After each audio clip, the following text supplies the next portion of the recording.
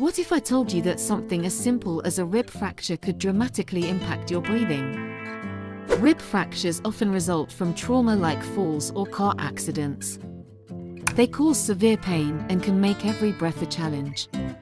Many fractures heal with rest and pain management. But severe cases might need surgical intervention. This step can prevent serious complications. And it helps speed up your recovery process. Ignoring persistent chest pain after an injury isn't wise. Early diagnosis is crucial to avoid complications. Untreated fractures can lead to punctured lungs or pneumonia.